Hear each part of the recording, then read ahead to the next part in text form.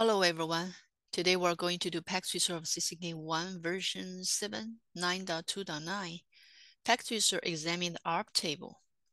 ARP stands for Address Resolution Protocol. ARP table is the table where the MAC addresses are mapped to the IP addresses. Here's the addressing table. Objectives part one, examine an ARP request. Part two, examine a switch MAC address table. Part three, examine the ARP process in remote communications. Background, this activity is optimized for viewing PDUs. The, the devices are already configured. You will gather PDU information in a simulation mode. Here's simulation mode. And answer a series of questions about the data you collect. Instructions, part one, examine an ARP request. Step one, generate ARP requests by pin 172.16.31.3. So pin this computer 31.3 and from 172.16.31.2, so from this computer 31.2 to pin 31.3. Okay, let's go to 31.2 desktop command prompt. And from here, they say enter arp-d command to clear ARP table. Okay. ARP ERP space dash D, enter. The D is delete, ARP is ARP table. So delete ARP table on the computer 31.2. Next, enter simulation mode and enter command pin 172.16.31.3. Two PDUs will be generated. The pin command cannot complete the ICMP packet without knowing the MAC of the destination. So the computer sends an ARP broadcast frame to find the MAC of the destination. Okay, let's do here. So we need to switch to simulation mode here. Click simulation, and then we ping 172.16.31.3. Enter we generated two PDUs. One is ARP, one is ICMP. The ARP here, the PDU is ARP request. ICMP is for ping, for ping. From here we see, before we ping, we delete ARP table on the computer 31.2, and the destination MAC address is on this ARP table, but we delete it so now without the destination MAC address, ping cannot complete the ICMP packet. That means without the destination MAC address, ICMP packet doesn't know where to go physically. Even though we know the destination IP address is 172.16.31.3, but IP address is a logic address. Any computer can be configured as the same IP address. Like here, if we change this computer to another computer and put it to here, and another computer can be configured as the same IP address.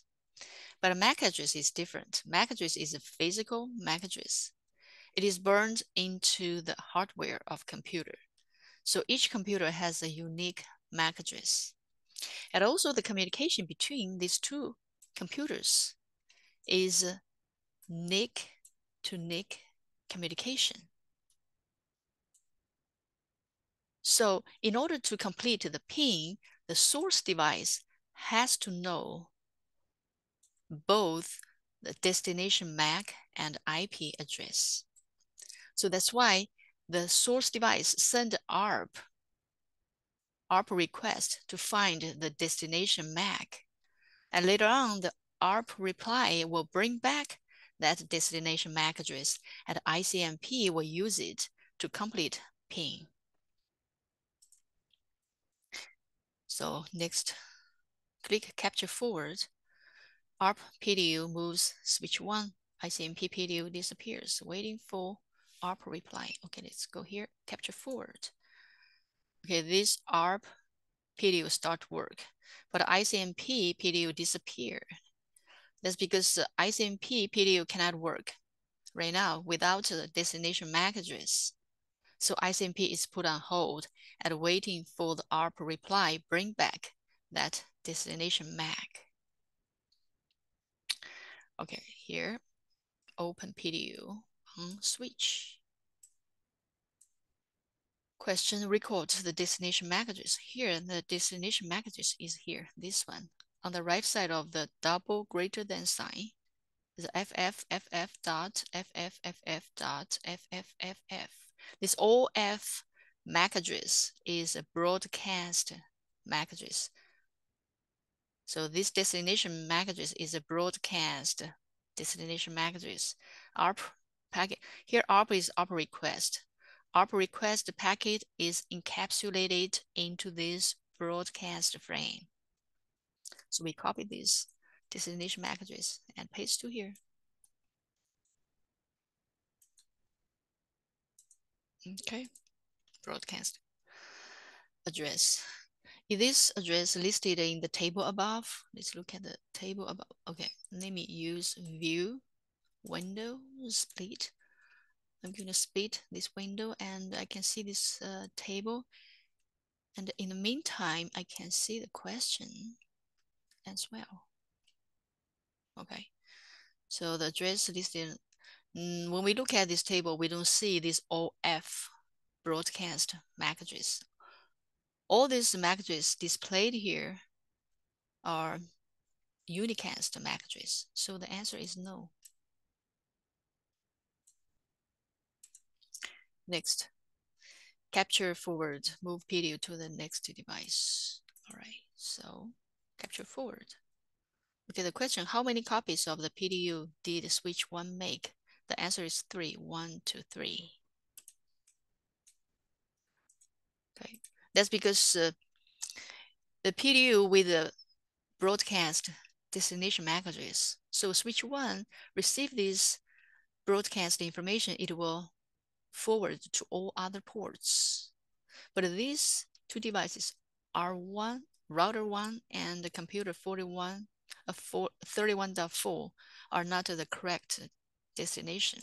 So they reject the um, broadcast packet. Next, what is the IP address of the device that accepted the PDU? That is the 172.16.31.3. Okay, this answer is simple. Copy paste. All right, open the PDU and examine layer two. Open this PDU on this destination device and examine layer two. Layer two is MAC address. The question is what happened to the source and destination MAC addresses? Layer two is for MAC address. So there are there are two, there are in layers layer two and out layers layer two. In layers for information coming in, out layers for information sending out. So we're currently on the destination device 31.3. Okay, 31.3.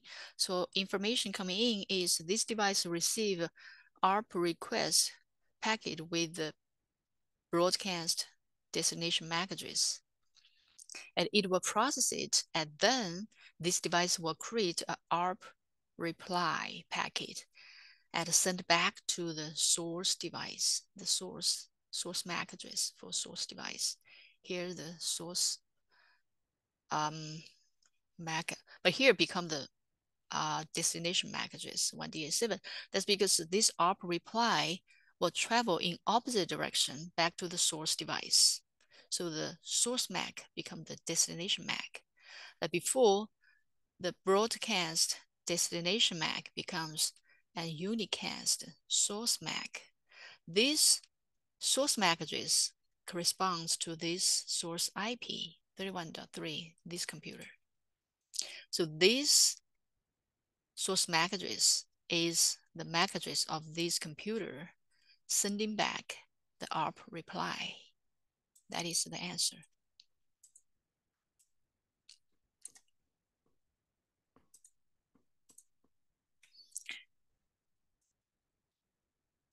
Okay, here source MAC becomes destination MAC. Broadcast destination MAC become unicast source MAC of the computer sending back ARP reply. And next, capture forward. Okay, let's go. And the re PDU return to 31.2, return to 31.2. Yeah, the source device. Okay, capture forward. So this uh, ARP, this is ARP, this PDU is ARP reply. Move to switch one again, then move back to the source device 31.2. Is how many copies of the PDU did the switch make during the ARP reply? The answer is one. That's because this ARP reply PDU with the unicast destination um, MAC and IP address, which is the address of this computer sending ARP request. Next, step two, examine ARP table. Okay, note that ICMP packet reappears here. ICMP packet reappears.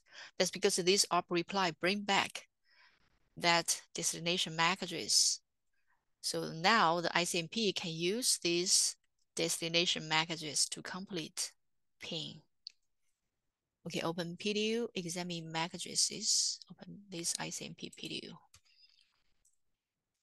Question. Do the MAC address of the source and destination align with their IP address? Okay, this is source MAC 1DA7. Okay, 1DA7 source MAC correspond to this source IP 31.2. This is source device, correct. Destination MAC 2849, 2849 correspond to this destination IP, which is a destination device. Okay, good. The answer is yes. Uh, switch to real time, ping complete. Okay. Switch to real time. Click 31.2. Okay, so ARP dash A, ARP dash A. A is all. This command ARP dash A is to show ARP table. The D, ARP D dash D is delete, delete ARP table. This is show ARP table. Uh, to what IP address does MAC address entry correspond? Here is MAC address. Here's a is called the physical address. Physical address is MAC address. There are different names, but have the uh, with the same meaning. Um, sometimes called physical address, sometimes called MAC address, sometimes called hardware address, but uh, all these names, different names with the same meaning. There's a MAC address. This MAC address correspond to this IP address. So copy paste. 31.3. Okay.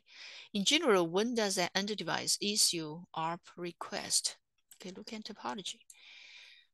Usually when this source device doesn't know the destination MAC address, the source device will send or will issue an ARP request. That is the answer.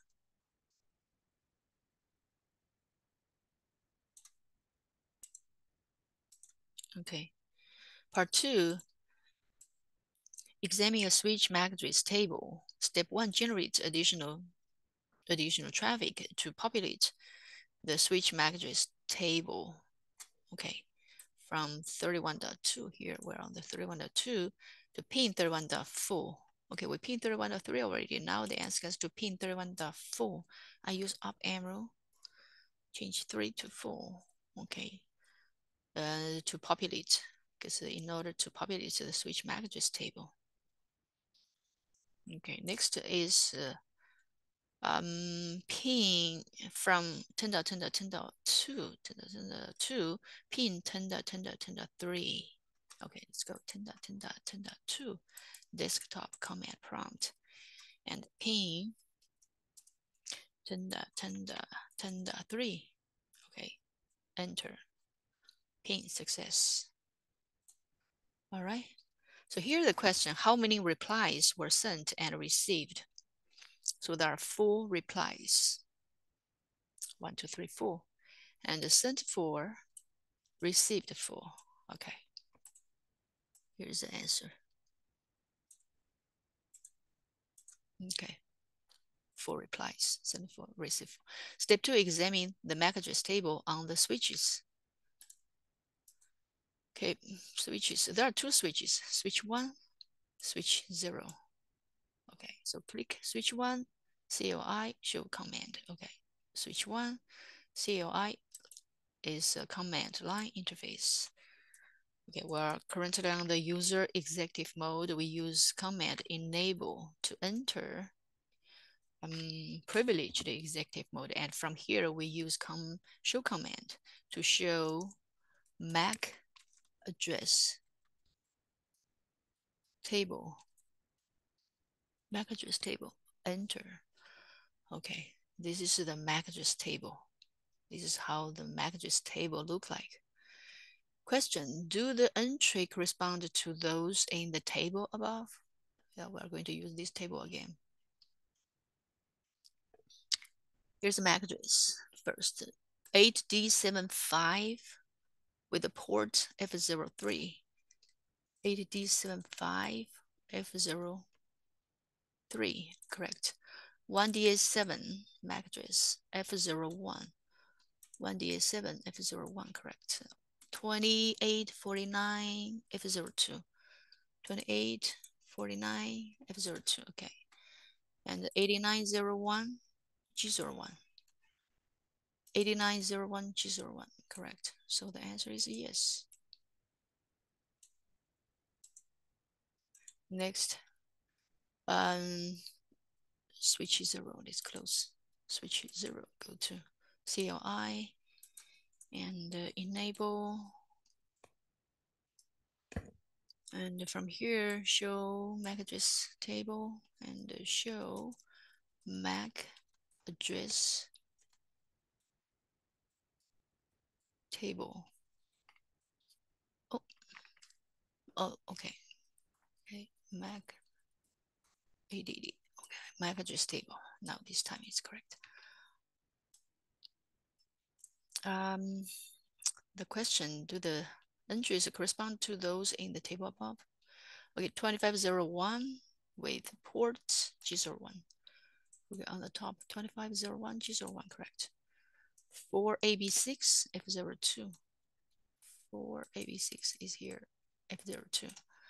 And the 57 to B F02. 57 to B F02. Okay, these two MAC addresses are associated with the same switch port F02. Okay. Okay, answer this question here. The first question, the answer is yes. Okay. The next question is why are two MAC addresses associated with one port is this one? These two MAC okay, let's look at these two MAC addresses, okay? These two MAC address correspond to these two IP address. These two IP addresses are for these two laptops, Tenda, Tenda, Tenda 1, uh, Tenda, Tenda, Tenda 2, and Tenda 3. And these two laptops are connected to the same switch port F02 and through this access point. Okay, this is the answer. Okay, they're both uh, laptop connected to one switch port through access point. Okay. Part three, examine ARP process in remote communications. Mm, okay, step one, generate traffic to produce ARP traffic. Okay, um, 31.2 to pin 10.10.10.1. Okay, let's go to here. Command prompt and pin 10.10.10.1. Okay, so from here we can see these two IP addresses. This is source 172. This is from 172 network. This is 10 network. So these two devices are from different network. So it's from it's it's uh, in remote communication. Okay. All right. So let's find where is the 10.10.10.1. Okay, here's the 10.2, 10.3, 10.1. Okay, so this IP address with um, the ending number, this ending number is one. So from here, we can tell this IP address is the default gateway IP address. That's because we usually use the first user IP address in the network as the default gateway IP address. So this IP address is default gateway IP address for the 10 network. This is a 10 network. So default gateway should be on the router zero, this interface, default gateway interface. It is also called a LAN interface because it is directly connected to the local LAN network. So it should be this interface. So this IP address is on router zero. So router zero is the destination device. All right, so let's um, do next. So ARP A, okay. They want us to show the ARP table. So ARP space dash A. This is the ARP table. What is the address of the new ARP table entry?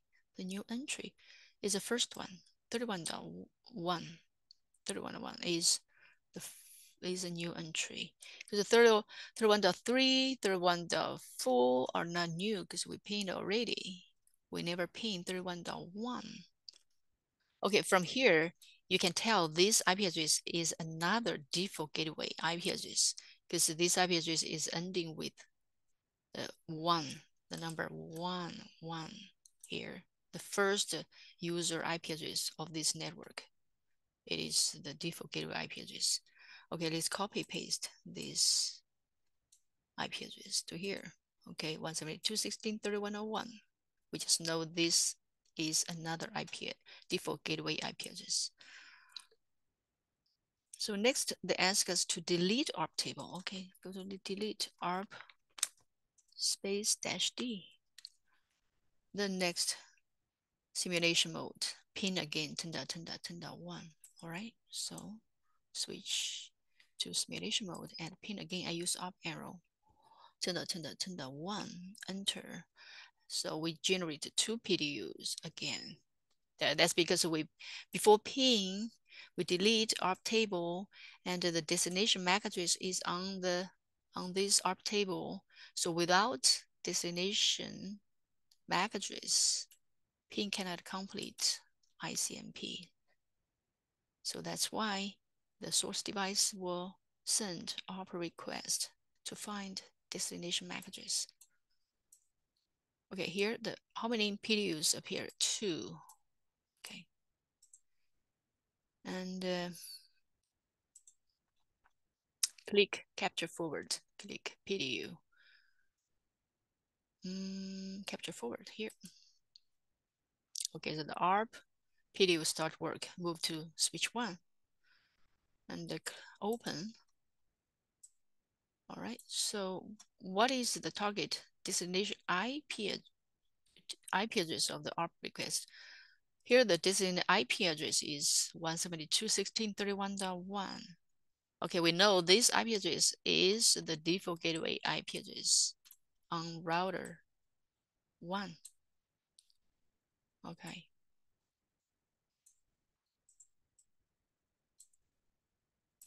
All right, so next question, the destination IP is not 10.10.10.1.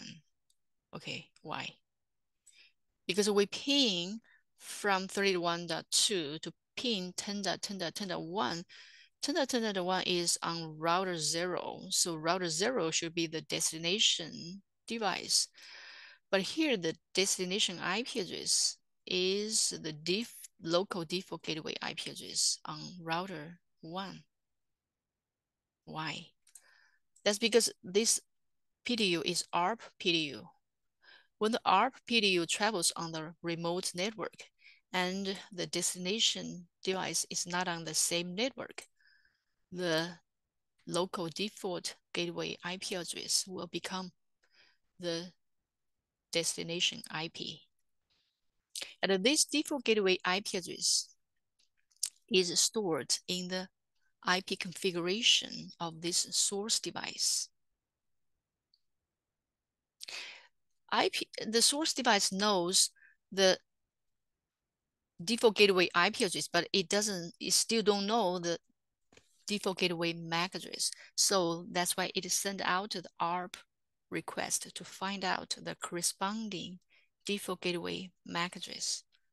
Okay, that is the function of ARP PDU.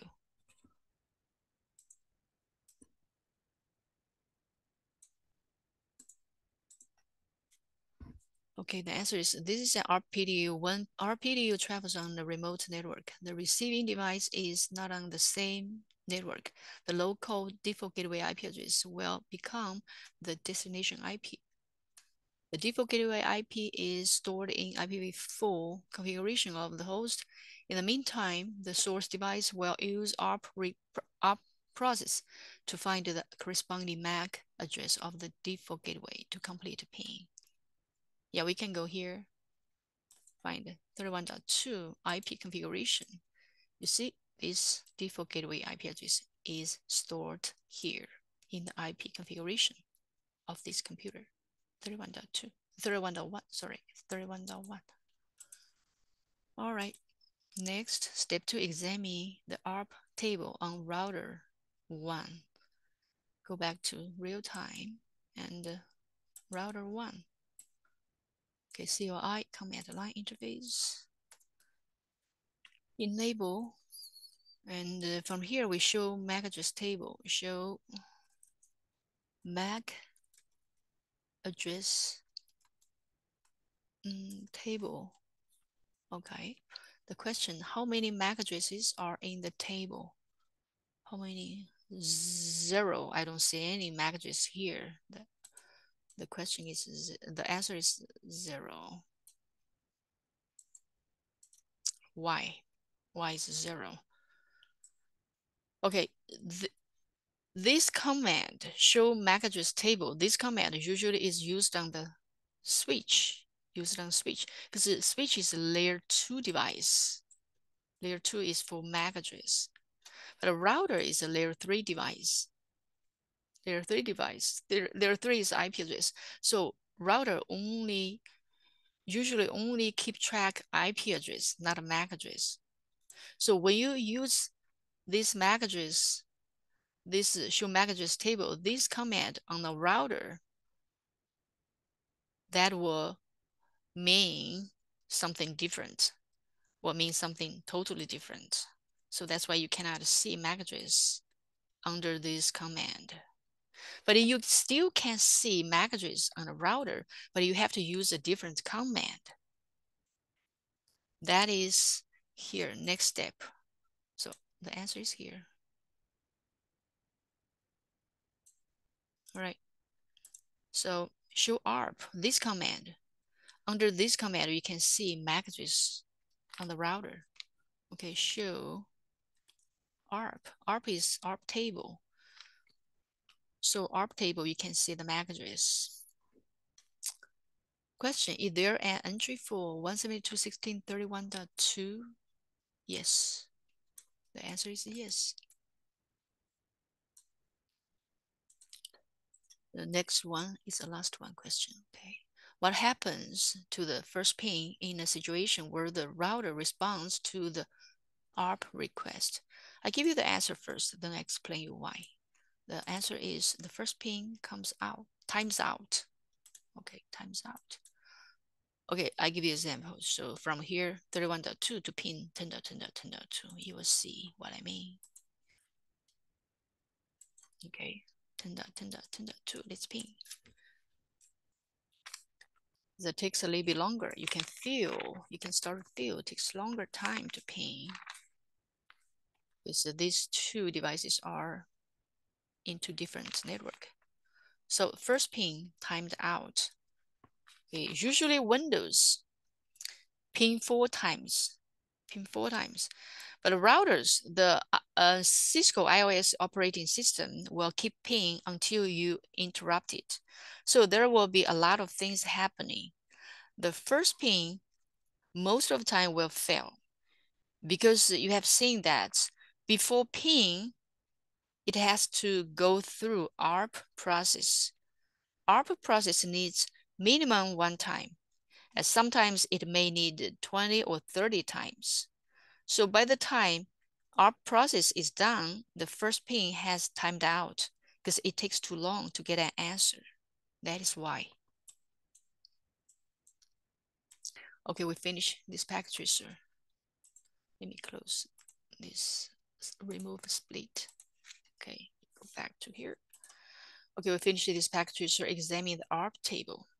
Thank you for watching my video. If you like my video, please thumbs up, subscribe my channel, uh, leave comments and share with your friends. See you next time.